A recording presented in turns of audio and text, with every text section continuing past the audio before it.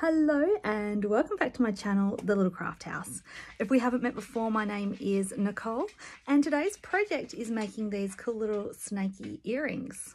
So I actually found this tutorial sitting in my drafts, not quite completed. So I thought I would just finish it off and then share it with you guys. Last week I did a tutorial about checkerboard and at the end I popped in a little um, screen grab from my one of my reels that I'd created and it had a Skinner blend similar to this featured in it. Um, so you guys asked for a tutorial all about how to do the blending. The full tutorial for that will be next week. However, this tutorial today also mentions and talks about it a little bit as well. So thanks for stopping by and I hope you enjoy this tutorial. The colours that I'm going to use today are both Sculpey brand, they are Premo Fuchsia and Souffle Sea Glass. Okay, so they are conditioned up and I've put them through the pasta machine to make them um, equal thicknesses. Now, every time I've done a Skinner blend normally what I'll do is just put the two colours together and then start running it through my pasta machine and the colours blend.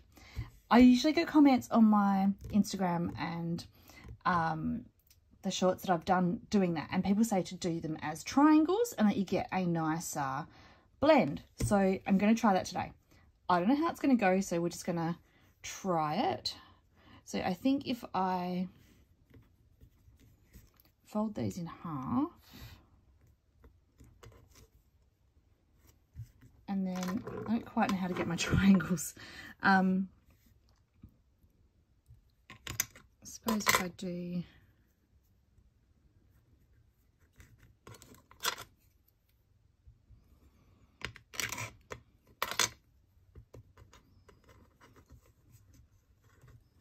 if I do that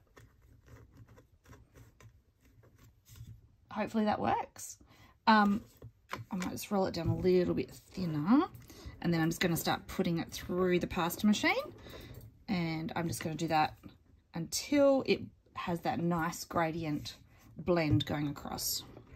So I think we'll do that in time lapse because it might take a few tries. Okay, I shouldn't have said tries, I should have said a few um, I don't know, passes, I suppose, a few few times going through. Um, so what I've done is set my pasta machine on the thickest setting. Yep, it's on the thickest setting, and I'm just going to um, keep putting it through and um, hoping it will work its magic and blend together nicely.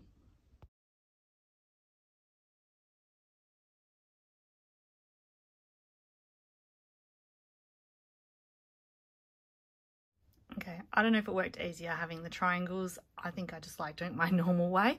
Um, so either way of just putting them side by side or doing that triangles works. Um, it's looking a little bit dodge at the moment and it's got some ripples through it, but that's okay. We're going to fix that up now. Okay, so just to fix those little ripple lines, which just happens sometimes um, in the pasta machine, I'm just going to get my acrylic roller and I'm just going to give it a really quick, gentle roll over the top. I'm not really putting much pressure on, just enough to um, smooth it out. You can still slightly see they're there, but that won't be an issue. Okay, um, next up I'm going to trim it down so that it is um, more even and more workable for what we're doing today. So obviously, as normal, I will keep all these scraps. They're not going to go to waste. I mean, that's still perfectly fine. That's still that original colour. That's got the blend through it, but that's okay because I will find a use for that afterwards.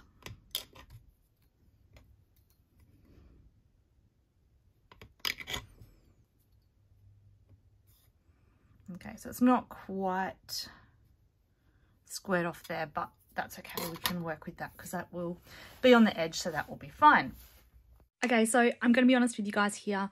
Um, I filmed all of that bit up until then for a different project. So um, that project I decided to scrap and do something completely different.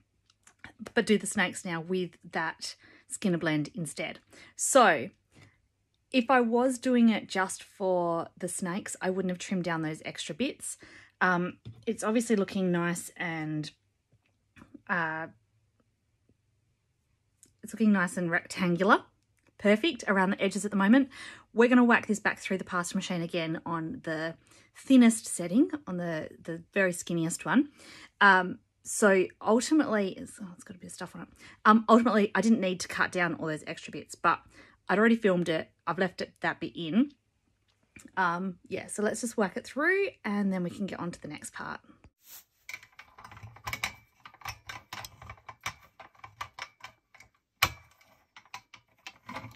Okay, so that's, that's on the thinnest setting and then we're just going to pass that through.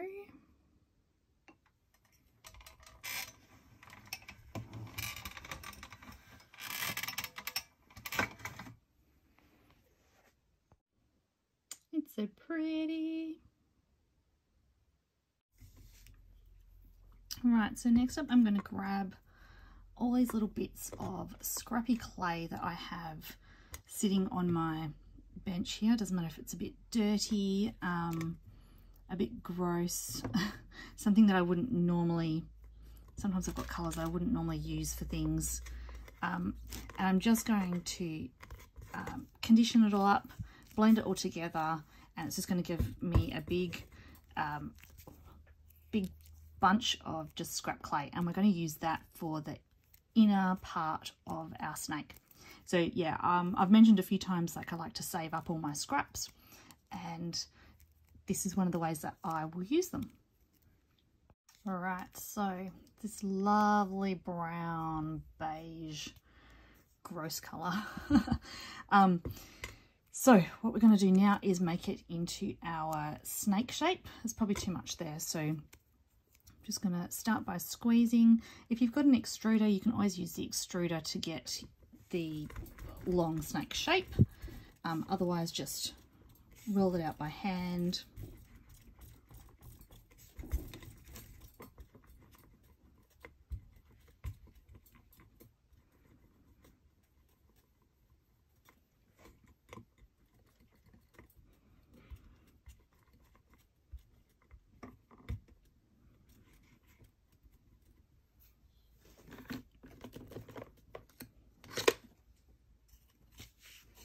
and acrylic tiles come in really handy for this as well because it means that you don't get those little finger bumps happening on it. Um, the little indents from your fingers doesn't do that, smooth it out.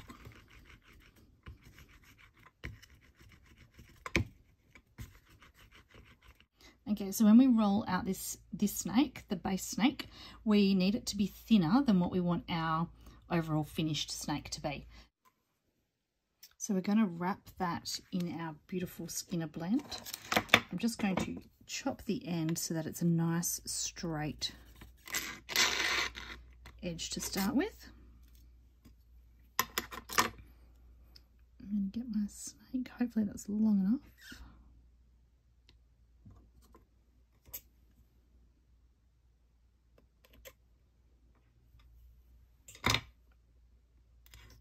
Going to wrap that around.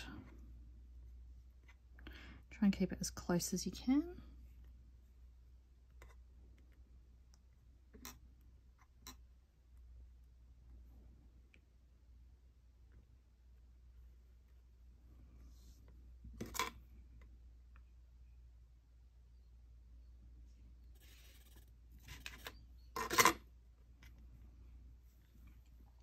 I'm just going to close that gap there.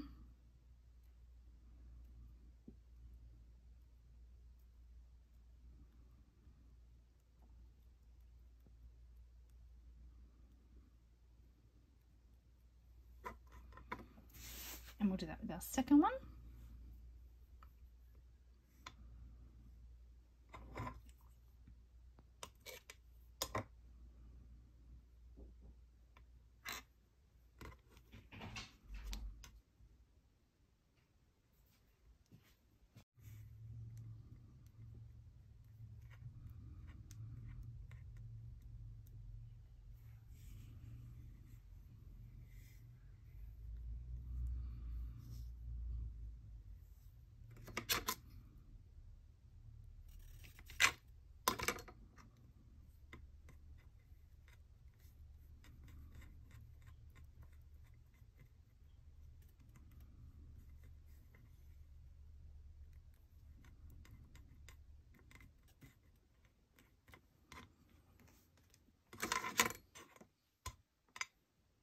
I'm just going to grab my plate back and then I'm just going to re-roll over the tops of these just to um, secure the colour to that internal piece and just to make sure that the seam is all nicely closed.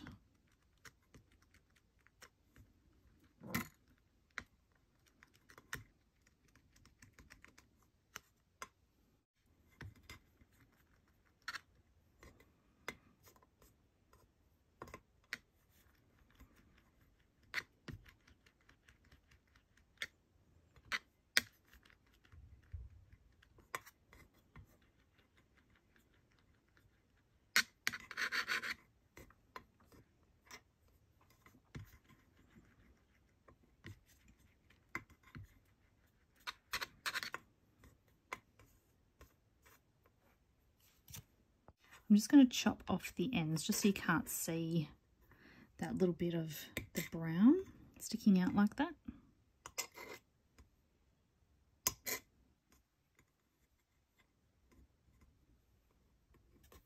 So we need to form our snakes now. Now I've had quite a bit of practice at doing this, so I've not too bad at doing it now freehand. If you do struggle, however, to get the shape, have a bit of a practice first with some of your scrap clay.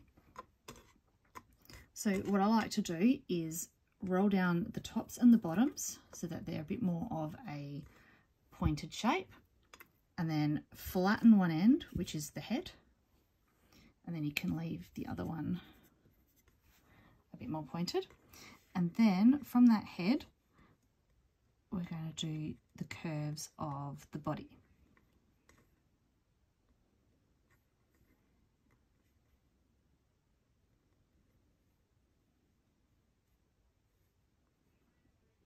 Like so. Now, if you do a practice run with your scraps and you really like it and you think, I'm not going to be able to get it the same again, a hot tip for you is to grab a piece of, say, baking paper where you can see through it. You can then, I don't have one handy, um, you can then trace the shape on so that you've got a, a template to then go over the top next time. Or you could bake this one as is, and then that way, again, you can then use that as a template to go over the top of. Um, or if you're better at freehand drawing, you can always draw on a piece of paper. If you've got your um, acrylic plate handy, that can always go over the top so that they don't stick together um, if you form it over the top. And yeah, that's a few different ways that you can get that shape. Let's just move this do to the side. Now I'm really happy with that shape actually. Let's hope I can replicate it on these. So again, we're just, I think, I'll, I think we'll do the pink as the head. So we're going to roll that down a bit. So it's kind of like a pencil tip. Roll this end down.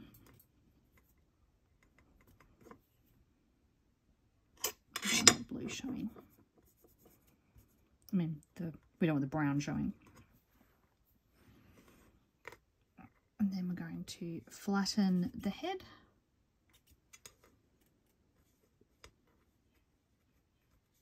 Now, one of the main reasons that we flatten the head as well is for the ease of getting findings through later. If we left it chunky, um, if we left it the same thickness as um, the body, it would be really hard to get um, a jump ring through or a hoop through or however we're going to put it onto findings afterwards. Um, so that's why I like to flatten the head. It makes it a little bit thinner and easier for those findings.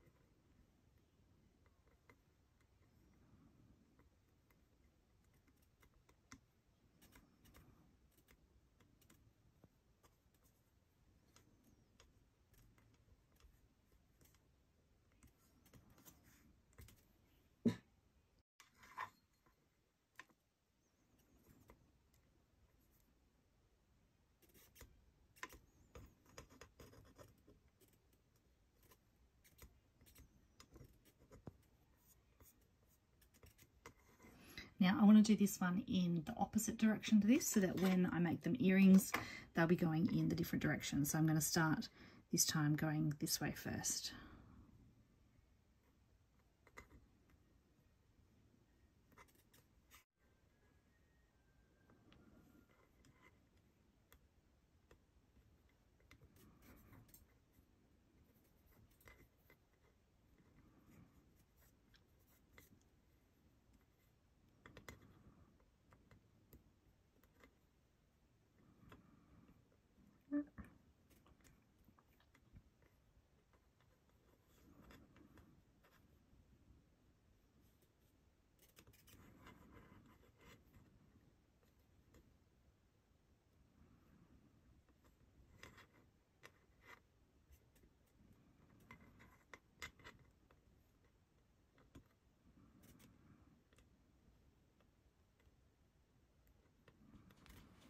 I just can't stop fiddling with his tail. It's not quite how I want it to be.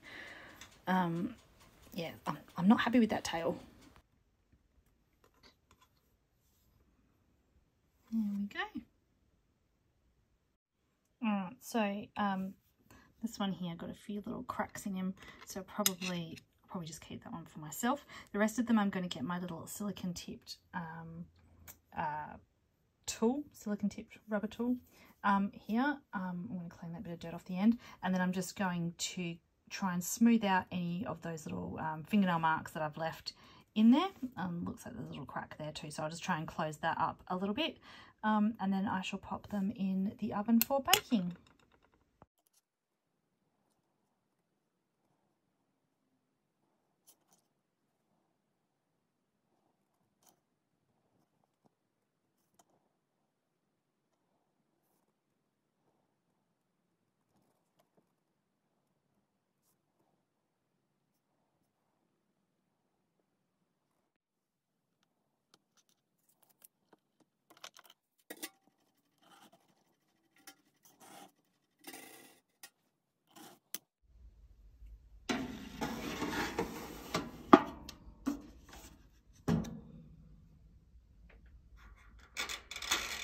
Okay, so our little snakes are out of the oven and they are ready to be drilled.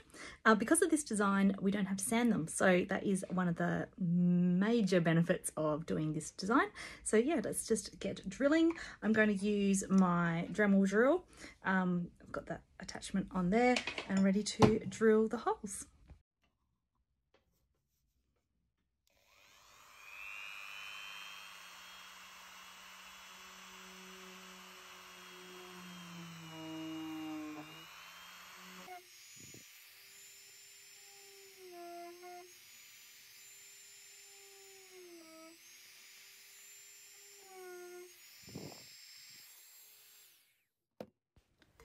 Now they are all drilled, they are ready to be assembled into earrings. And I've chosen to use these hoops today. I like these hoops because they are simple and it really just makes the snakes the feature. Um, I could, a lot of my other earrings I use different styles of toppers, but yeah, for the snakes I really do like just the hoops. And so that brings us to the end of today's tutorial. So I hope you enjoyed watching me make these little snakes. And as I mentioned earlier, if you'd like to see a full tutorial on the blending process, I will have that next week. So thank you for joining me and I shall see you again next time. Bye!